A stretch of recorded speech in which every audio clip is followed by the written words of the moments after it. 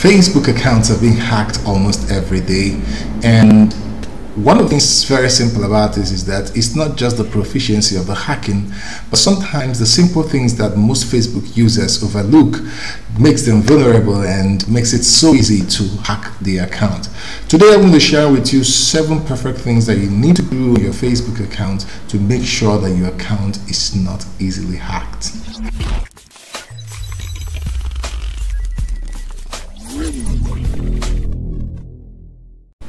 Okay, welcome back again to Smart Depot today. I'm so excited to see you here again. So if you're new or you like our video, you just click on that subscribe button right now. It really, really encourages us to keep doing and doing more things. Okay, so if you've done that, uh, let's go into why your Facebook account's being hacked today. The, the problem is not just basically from Facebook or that Facebook is not secure. The problem is not also from high profile hackers. The major problem is the neglect of many Facebook users about some of the basic security settings that you should always turn on in your Facebook account. So right now I'm going to show you the seven major things you need to turn on and set and do in your account to make sure that you're not hacked. Okay, let's get started. Uh, number one we're going to look at here is the username. Now make sure that you're not using your phone number as a username for signing in into Facebook or you know when you're signing up.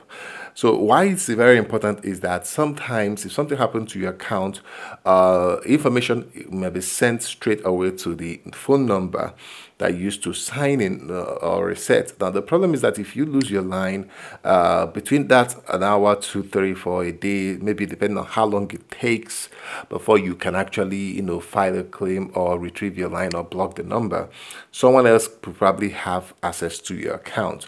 But if you are using an email for the signing, you can always easily log into your email uh, from any other device and then check out whether anything is going on on your Facebook account. So if you've already done that, you can go into the setting and change it as we'll show you uh, as we go further in this video. Now, the next one, number two, is about password. Now, this is paining me because uh, the few persons I've just dealt with the account being hacked recently, I realized that many of them were using their phone number as password Come on, for crying out loud. Your phone number is a public knowledge. Many people know about it. So please do not use your phone number as your password. It is not acceptable.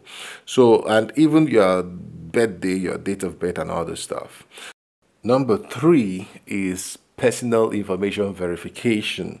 Now, this is the setting. Uh, we're going to go into the setting, the security setting here. This is from the PC uh, uh, browser uh, for Facebook. So um, I'm going to go and use the mobile. So you, many people who use the mobile can also know how to set it straight from their mobile. So this is Facebook mobile app. So you just go into the setting and then you click on your personal information. So here we're going to verify. So for this particular account I'm using right now, the email is verified. So whatever that is verified, you see it there. The email is verified, but the phone number has not been verified.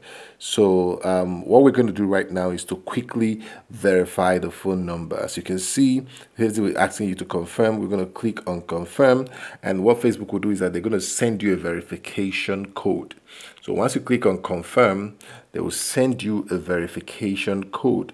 You see now, it didn't take time for this one and the SMS just comes in straight to this phone number and then you, all you have to do is to put in the code and hit continue and you are verified. So this is very very critical. Inside this personal information you have to make sure you verify the two of them. With this it will be harder for someone to try to you know hack your account. And identity confirmation is, is something different. You probably don't need it except you want to run for office Number four and five have to do with uh, logged in devices. So let's start with devices where you're logged in. Many people don't go to check this.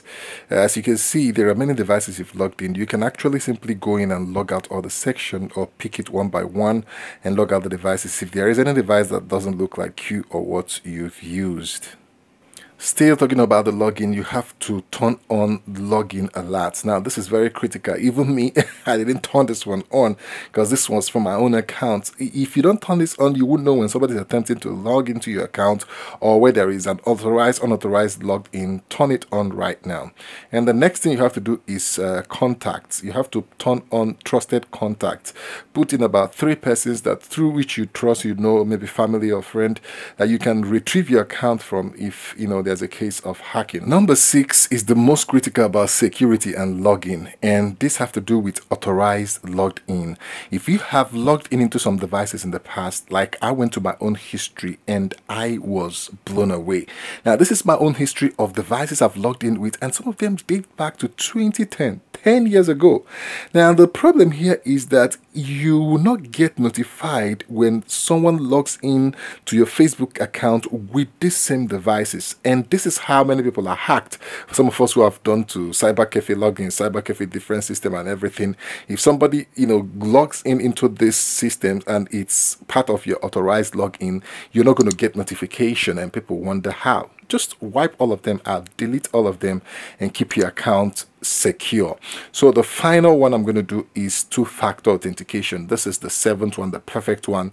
And when it comes to two-factor authentication, I advise people to do it with the authentication app. Now, the reason why I do that is that I can also set up authentication app in browser plugin, in PC, in different places so that uh, I can also back it up to the Google uh, Drive or cloud or any other thing. So once it is there for setting it up in app, I just copy the code, just copy the code and put it into the authentication app, third-party authentication app, and there's uh, that. You know, just get the code, and for do that, it also require password for you to confirm it. So this is very, very, very, very critical things that you must do to make sure that the account is not hacked. The story going on about Facebook account hack, how it's destroying lives, marriages, making people to commit suicide. Please don't be a victim for that. So that's about it for today and make sure you apply this thing, share with your friends, your family, make sure they watch this video, they apply these steps to their own Facebook account so that they won't be hacked. You know, recently some people who are close to me have been hacked and I looked at it and I was like, no, you can't be using your phone number that is public as your password and some other simple neglect that people do. Uh, so make sure you follow some of the things we're doing this video, subscribe because I'm going to do a series on this one. I'm going to do another video that has to do with how to make sure your bank account is not hacked so make sure you subscribe, make sure you share this, and make sure uh, that you uh, turn on turn on the notification bell icon so that when I do it, you get the notification. So that'll be it for now. Let me hear from you in the comment section, and I'll see you next time. Peace out. Subscribe. I'll see you.